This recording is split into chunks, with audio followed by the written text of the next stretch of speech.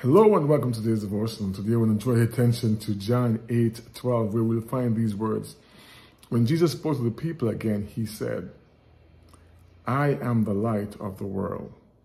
Whoever follows me will never walk in darkness, but will have the light of life. And so one of the questions it begs for me is, you know, who are you following? Because who you're following will determine whether or not you're walking in the light or you're walking in darkness. My encouragement would be for anyone who would see this, share this, that we would choose to follow Jesus and walk in the light because he is the light. And so when we follow him, when we do things in accordance to his will, his way, his plans, then we are going to be those who are walking in the light. The opposite is that we walk in darkness. And we don't want to be those who walk in darkness, where darkness is associated with evil and wrongdoing.